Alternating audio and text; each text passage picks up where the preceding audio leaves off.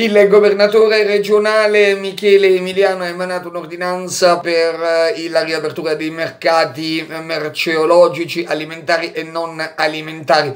Le disposizioni avranno luogo dal 18 maggio fino al 1 giugno. Questo è il frutto di un percorso partecipato, ha detto Emiliano, che ha visto impegnati operatori, rappresentanti di categoria, sindaci e UIC regionali. Abbiamo raccolto le richieste dei commercianti in accordo con i sindaci delle varie città. Eh, soddisfazione soddisfazione per il lavoro di queste attività lavorative esercitate in Puglia da oltre 15.000 ambulanti.